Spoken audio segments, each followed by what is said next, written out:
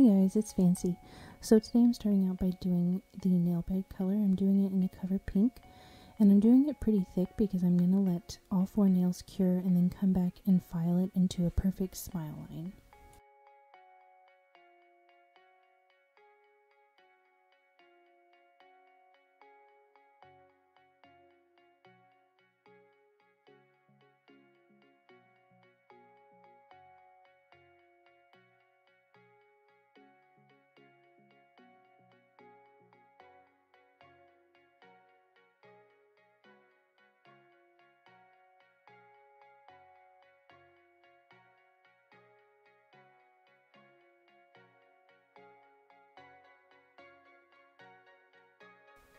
So like I said, after it's fully cured, I come in and I'm going to file it until it's nice and crisp so that when I lay down the color on the tip, it makes a perfect shaped smile line.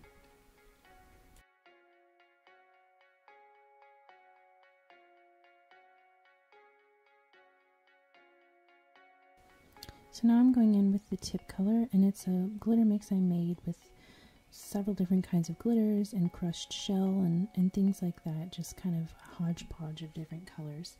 And I'm not really sure what shape nail this is. I've done a video with this shape before. I don't really know what to call it. Um, but that's the shape I'm doing. This is actually a set I used to do on myself all the time when I was in nail school. Um, I really, really liked it, and so I thought, why not do a video on it?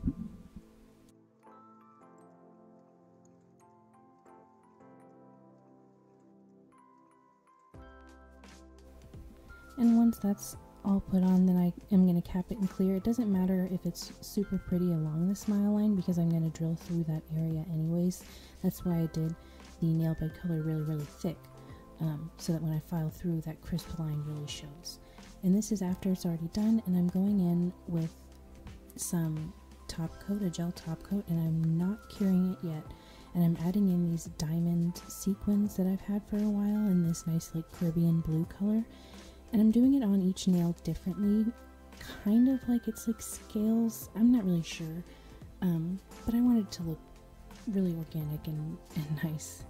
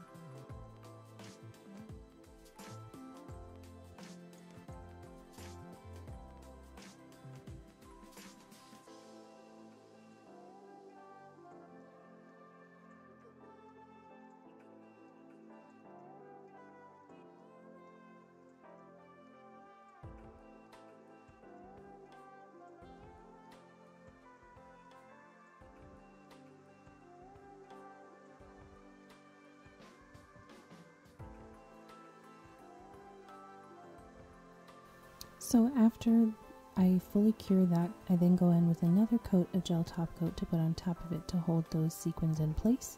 And this is the finished product. If you like these, feel free to subscribe, maybe leave a comment or a like on the video. It really helps me out. And until next time, stay fancy.